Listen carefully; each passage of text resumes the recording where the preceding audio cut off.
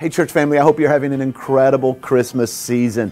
I want to invite you out to join us this Christmas Eve for one of our three incredible Christmas Eve services. The time is 1 o'clock, 3 o'clock, and 5 o'clock. We're going to be sharing communion together. We're going to have a candlelight service, got some incredible music, but most importantly, we get to spend some time together as God's family. So I want to encourage you to come on out this Christmas Eve. Bring your friends. It's going to be a great, incredible time.